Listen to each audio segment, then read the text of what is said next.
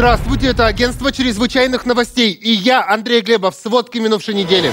Парни убили нарушителя правил дорожного движения и его пассажира. Аварии с камер видеорегистраторов и наблюдения. Задержанный по подозрению в угоне заявил, что просто менял колесо. И обиженный клиент автомагазина заблокировал главный вход и выдвинул требования. И на поле боя, и в мирное время стояли уральские богатыри за правду, за силу русской земли, за счастье родного дома и традиции богатырского качества сильны и по сей день. Уральский богатырь. Сила в качестве. Акция от компании «Пласт Окно». Весь октябрь распродажа окон от производителя со скидкой 50% на изделие. Оплата после монтажа. С нами теплее. Братьев Кашириных 54. Телефон 258 77 55. Настоящие фирменные аляски и бомберы, милитари и casual. Модная брутальная одежда в магазине alfa74.com. Зимой будет тепло. ТРК Фиеста. ТК Курчатов. На Ленина 86. Смертельное ЧП на одном из крупных заводов Челябинска. 31-летнего мужчину зажало металлическим рельсом. Пострадавший мастер получил серьезные травмы и скончался от сильной кровопотери еще до приезда медиков. По словам коллег погибшего, работник цеха нарушил правила техники безопасности. Он решил протиснуться между станцией замера профиля и центрирующими роликами, в результате чего его прижало подаваемым рельсом. Мужчина получил травмы, несовместимые с жизнью. Известно, у погибшего осталась пятилетняя дочь от первого брака, а сам он собирался жениться. Стоит отметить, мастер проработал на заводе более 10 лет. После случившегося с сотрудниками комбината провели профилактическую беседу о том, что передвигаться по цеху нужно строго по установленным маршрутам движения. В областном суде вынесли приговор парням, которые жестоко убили водителя за нарушение правил дорожного движения, а потом расправились с его пассажиром. Жестокие мстители похитили их, потом душили и закололи отверткой. Приговор криминальной троицы выслушал наш корреспондент Артем Самсонов. Артем, здравствуйте, вам слово. На скамье подсудимых трое жителей Южноуральска. 37-летний Артем Смирнов, 33-летний Денис Мартыненко и 32-летний Виктор Стратов. Оглашение приговора началось с опозданием. На заседание не явился один из адвокатов, зато зал практически полон. Пришли и родственники погибших парней, и знакомые подсудимых.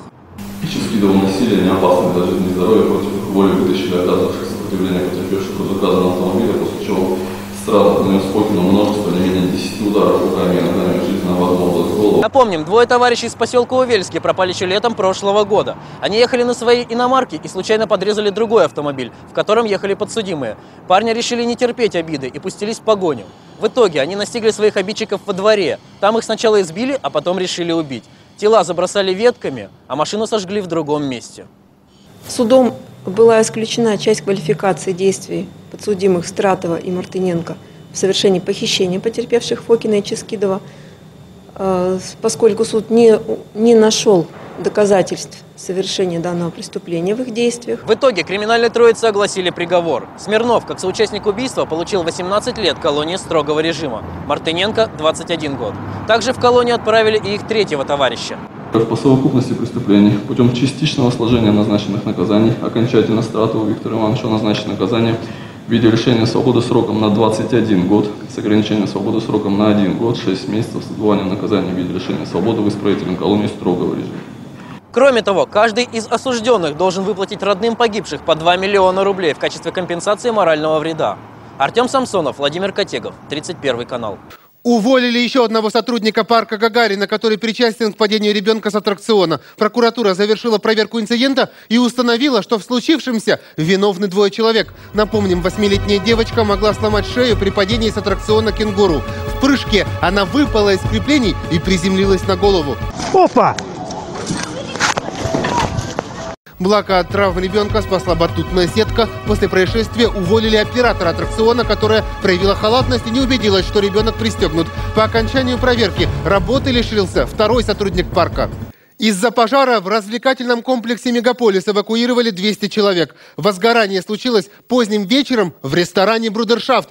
Но дымом затянуло все здание. Поначалу работники комплекса сами не понимали, что и где горит, и от комментариев отказывались. На данный момент развлекательное заведение закрыто. По предварительной информации, внутри случился пожар, людей эвакуировали. Вот сейчас на наших глазах охранник заведения закрывает дверь на ключ. Скажите, пожалуйста, еще раз, что случилось? Заведение не работает по техническим причинам, ответил секьюрити, но даже через стекло было видно, что воздух в помещении задымлен. Вновь прибывших посетителей разворачивали у порога. Позже стало известно, в кухне ресторана загорелась вентиляция и дым распространился по всему комплексу. Персонал и посетители мегаполиса эвакуировались самостоятельно, пострадавших нет.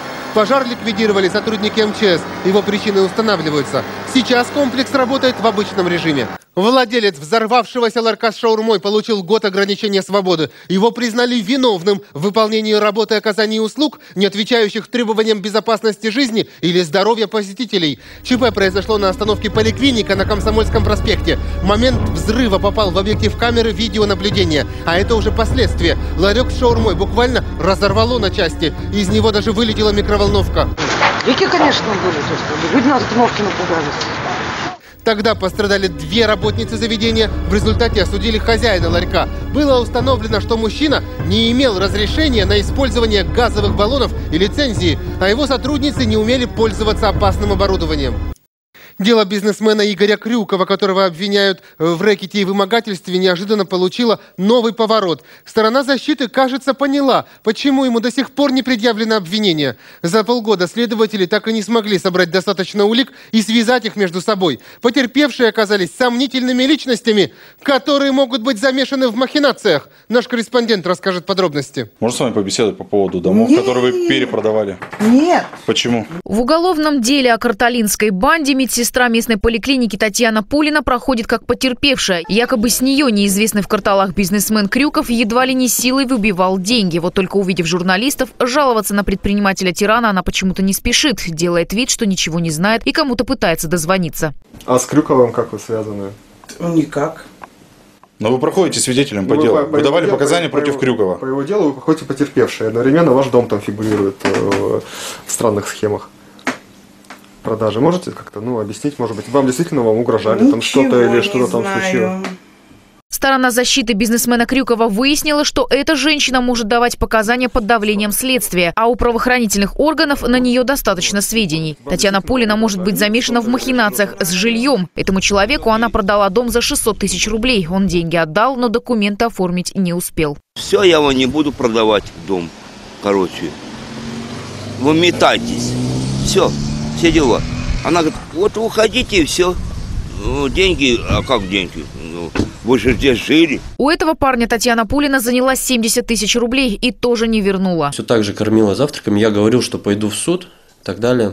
Ну, в итоге ничего не отдала, я обратился в суд. И выиграл дело, как и другие пострадавшие от действия медсестры. Она должна крупные суммы денег людям. Это официальный сайт судебных приставов. Судя по данным, Татьяна Пулина обязана выплатить людям больше 400 тысяч рублей. А потом неожиданно она сама вдруг стала потерпевшей в деле бизнесмена Крюкова. Напомним, карталинского бизнесмена Игоря Крюкова задержали в апреле. Это кадр оперативной съемки. По версии следствия, коммерсант организовал банду, которая занималась вымогательством, самоуправством, мошенничеством, организацией азартных игр и даже продавала наркотики. В группу входило 20 человек, а обыски были проведены аж в 50 квартирах. Изъято 14 единиц оружия, 250 патронов и почти 2 миллиона рублей. Странно, прошло полгода, но полиции не удалось все это увязать с предпринимателем Крюковым. Утверждение следствия о том, что Крюков Игорь Васильевич является организатором преступной группы, банды. Обвинения по данному факту будут по-прежнему не предъявлены, хотя это четко предусмотрено Уголовным кодексом. Кроме медсестры с сомнительной репутацией, в деле бизнесмена фигурирует и предпринимательница Стафеева. По данным следствия, Игорь Крюков якобы вымогал у нее деньги. Испугавшись угроз, ей пришлось продать дом. Вот только муж бизнесвумена о вымогателях и не слышал. Крюков сам что он здесь терроризировал здесь всех? Или Да это- нет, что, глупость. Он не терроризировал никого. Как он там давил, не давил? Или просто... Да нет, не давил, просто мы должны были самое, ну что, полтора года, сумма-то большая была.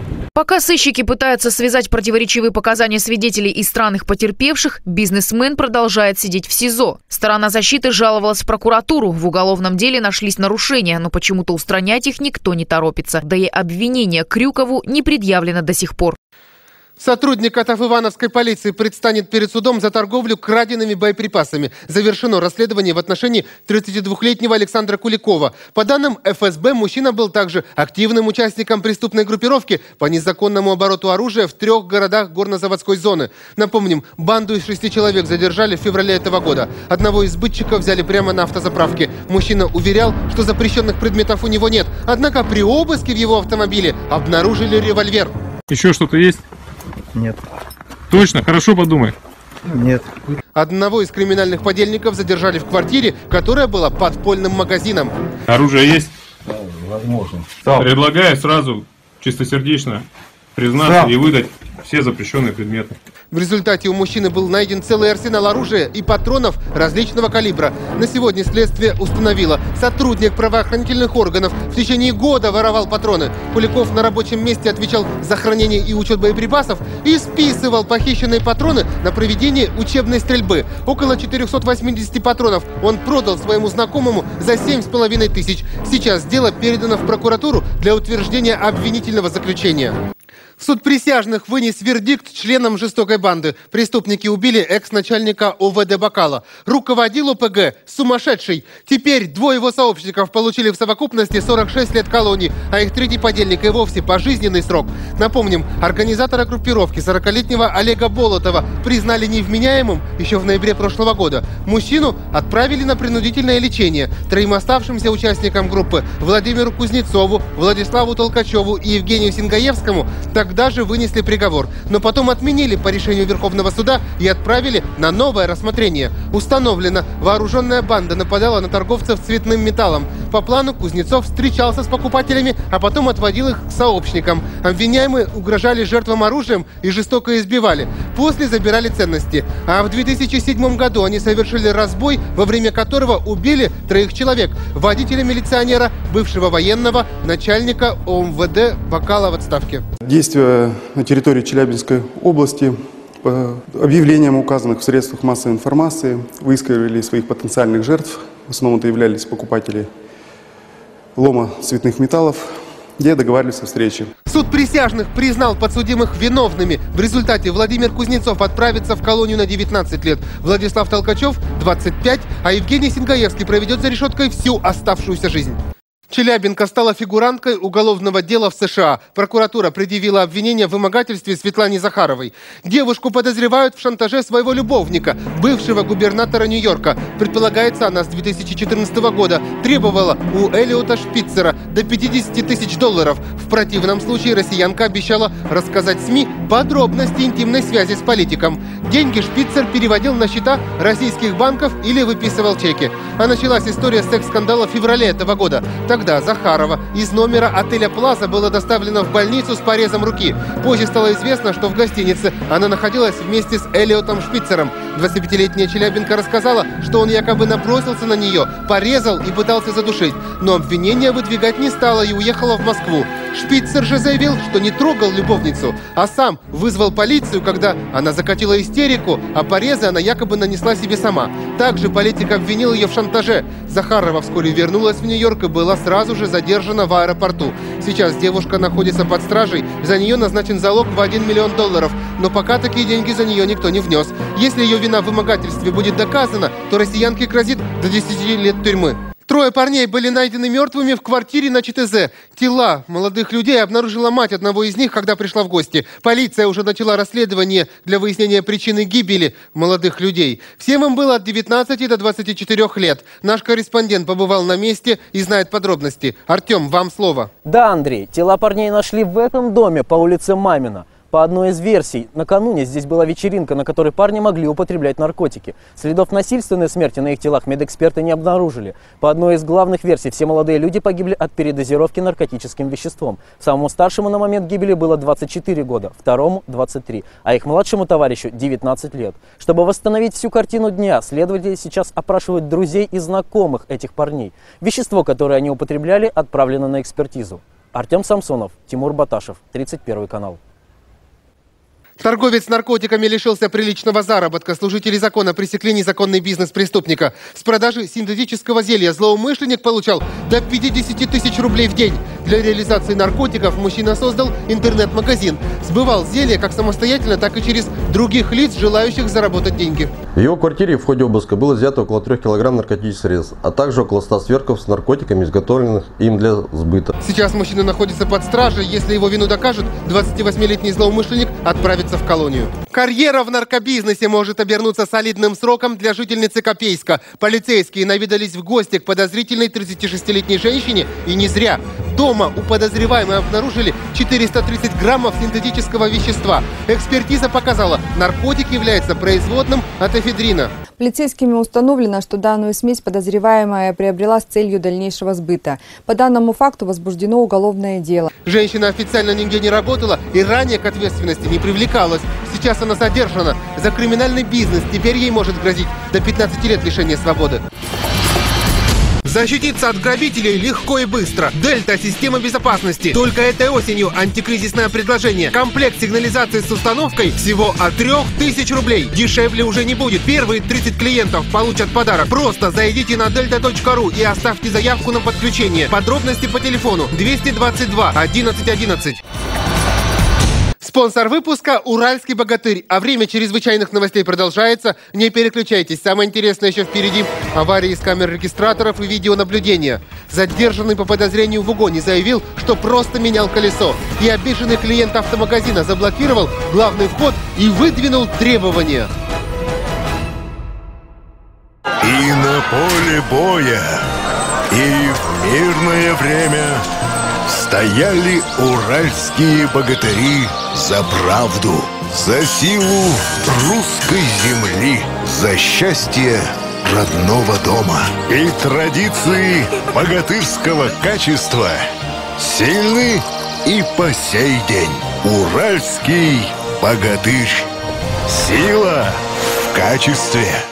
Акция от компании «Пласт Окно». Весь октябрь распродажа окон от производителя со скидкой 50% на изделие. Оплата после монтажа. С нами теплее. Братьев Кашириных 54. Телефон 258 77 55.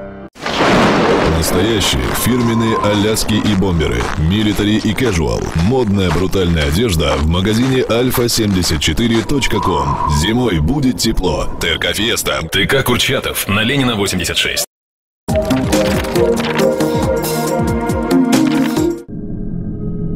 Я совершил немало зла. Я чудовище. И заплачу за это. Помните мое появление в Лондоне? Выбирайте любую. Нет ничего невозможного для того, кто обладает двумя привилегиями.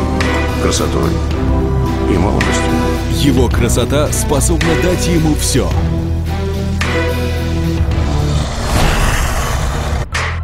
Но за такую жизнь придется дорого заплатить.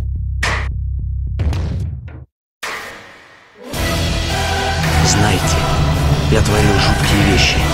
По роману великого Оскара Уайльда. В чем ваш секрет? Тот, кто его узнает, недолго живет. Дориан Грей. Кино со звездами. Сегодня на 31-м. Трамвай задавил 34-летнюю женщину в Ленинском районе. Пешехода буквально затащило под вагон. Трагедия случилась поздним вечером в районе 34-го дома по улице Новороссийской. По данным полиции, погибшая переходила дорогу в неположенном месте. По какой-то причине женщина не заметила трамвай. Не исключено, что она отвлеклась на мобильный телефон или была пьяна. От полученных травм она скончалась на месте. В настоящий момент материал передан в Следственный отдел по расследованию дорожно-транспортных происшествий для предварительного расследования и вынесения окончательного решения. За управлением трамвая 22 маршрута находилась 63-летняя женщина. Почему она тоже не увидела пешехода и не успела среагировать, сейчас выясняется. Опасный маневр автоледи привел к страшной аварии с пострадавшими. Легковушка на встречке столкнулась с фурой. Утром на Уфимском тракте столкнулись две отечественные легковушки и грузовик. По словам очевидцев, девушка за рулем «Лады» пошла на обгон фуры и лоб в лоб встретилась с грузовиком. Легковушку закрутила, и она столкнулась с другой «Ладой». Вызволять автоледи пришлось другим участникам ДТП. Получается, два удара ее развернуло, два удара об КАМАЗ у нее произошло. Потом ее развернуло ко мне передом машину, и я в нее чуть... Ну, я успел затормозить вовремя, и она... Все, после этого я вытащил ее из машины, отцепил аккумулятор, вызвал скорую. В итоге 22-летнюю девушку-водителя с травмами доставили в больницу. Очевидцы сообщают, маневр был совершен на участке, где обгон запрещен. Кроссовер и легковушка не поделили проезжую часть на Комсомольском проспекте. Момент аварии попал в объектив регистратора очевидца. На кадрах видно, черный кроссовер едет в крайнем левом ряду и не замечает маневр на марке. В итоге столкновения. Почему водитель белой легковушки подрезал внедорожник, устанавливают сотрудники полиции. Не исключено, что одной из причин аварии стали плохие погодные условия. Осужден водитель фуры, убивший шесть человек. Среди погибших было двое детей. Шофер проигнорировал неисправность транспортного средства и выехал в путь. Когда отказали тормоза, случилась массовая авария. Напомним, ДТП произошло на 1623 километре трассы Челябинск-Москва. У фуры отказали тормоза. Сначала многотонный DAF таранит две иномарки Kia и Honda. Эти машины улетают в кювет. Затем под пресс попадает ВАЗ 15 модели, Mitsubishi и Ford Focus. И вся эта груда металла прилетает в грузовик марки Volvo и загорается. Семь машин превратились в один огромный костер. Эти кадры очевидцы снимают уже на свой мобильник. В салонах люди, они горят заживо. Вот здесь ломик должен лежать. Ищите. Ломик. Ломик должен лежать. Зачем ломик? Там двое горит. Погибли шесть человек. Шофер, кстати, практически не пострадал. Успел вовремя выпрыгнуть из автомобиля. В результате водителя грузовика Владимира Трохова приговорили к четырем годам и шести месяцам колонии общего режима с лишением права заниматься деятельностью, связанной с управлением транспортными средствами, на три года. Просто менял колесо. Полицейские задержали парня, подозреваемого в угоне легковушки. Машину угнали прямо на глазах владельца. Подробности в сюжете. Этого парня подозревают в угоне машины, которая была припаркована возле одного из домов по улице Танкистов. Хозяйка легковушки возмущена наглостью преступника, ведь он орудовал посреди бела дня. К тому же автоледи сама стала свидетельницей угона. Я стояла на кухне, готовила. Напротив окон я услышала страшный рев машины. И, обернувшись, я просто увидела, что наша машина отъезжает. Женщина немедленно позвонила стражам правопорядка. На поиски преступника было отправлено несколько нарядов полиции. Спустя два часа предполагаемого угонщика задержали в частном секторе по улице Катерная. Была обнаружена данная автомашина с пробитым колесом, и провода были подключены напрямую. Около данной автомашины был обнаружен гражданин 96 -го года рождения, который пытался менять колесо. Увидев служителей закона, парень бросился в бегство, но уйти ему не удалось. Полицейские догнали и задержали подозреваемого. Однако сам предполагаемый угонщик так не считает. Меня не задерживали. Я просто менял колесо. Вот мне попросили колесо поменять, я вот менял колесо. Не более. На место преступления прибыли следователи, а парня доставили в местный отдел полиции. Если вину задержанного докажут, он может лишиться свободы на срок до 7 лет. Стоит отметить, подозреваемый ранее уже был судим за угон машины. Елена Абросимова, 31 канал. Возмущенный челябинец заблокировал центральный вход одного из автомагазинов. На лобовое стекло автомобиля мужчина повесил плакат с требованием вернуть деньги. Молодой человек утверждает, в этом офисе ему якобы продали старый масляной фильтр. На какие меры готов пойти покупатель, расскажет наш корреспондент. Улица Елькина в этот раз особенно оживленная. На место прибыли сотрудники охраны, полиция, ГИБДД и эвакуатор. Переполох устроил водитель Митсубиси, который заблокировал центральный вход автомагазина. Машину бы давно эвакуировали, но мужчина отказался выходить из салона авто. Ждем, пока выйдет он. А потом? Потом машину эвакуируем. И прохожие ждут развязки. Некоторые из них также оказались клиентами этого автомагазина. Машина а, подъехала и заблокировала вход. Не, смог зайти, деталь получить свою. Вот. Но у него уже были э, транспаранты. Если верить плакатам, мужчина отдал за деталь 11 тысяч 25 рублей. Уже собирался ее установить в автосервисе, но обнаружил, что деталь якобы уже была в употреблении. Теперь недовольный покупатель требует вернуть деньги, пока безрезультатно. Как понял, он э, какой-то директор экзиста, либо какой-то начальник. Снимал меня на, фото, на фотографию, сорвал э, этот плакат с моей машины. У меня было снаружи наклеено сначала. Сорвал плакаты все и стучал мне в окно и говорил, ты на деньги попадешь. Через несколько часов автомобилиста уговорили выйти из салона. После оформили протокол.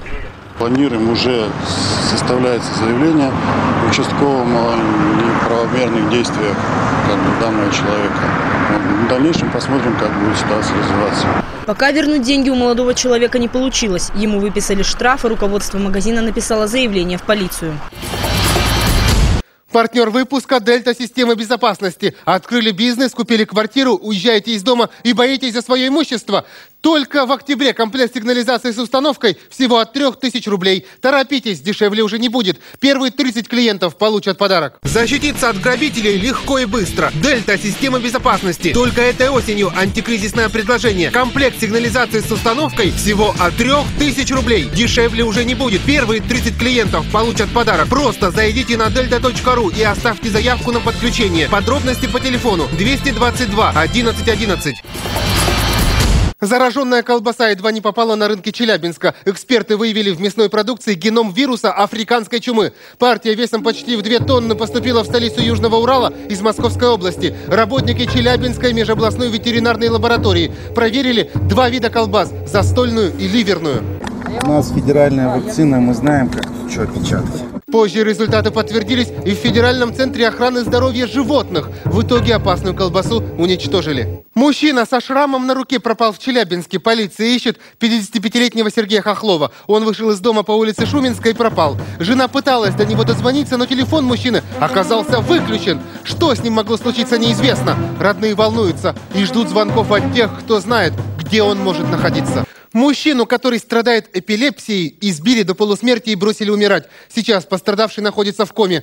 55-летний Михаил Акеев пропал 7 октября. Его родственники обратились на 31 телеканал с просьбой им помочь найти мужчину. Чуть позже выяснилось, он находится в больнице, куда поступил в тяжелом состоянии через сутки после исчезновения. По предварительным данным, кто-то ударил мужчину по голове 14 раз. Сейчас полицейские устанавливают обстоятельства случившегося, а также ищут человека, который вызвал для пострадавшего скорую помощь. Сразу после выпуска смотрите, до чего может довести юношу сделка с дьяволом. Триллер Дариан Грей. Не переключайтесь. А я с вами прощаюсь. И помните, сюжеты не придуманы. Таким этот мир мы делаем вместе с вами. Увидимся на следующей неделе.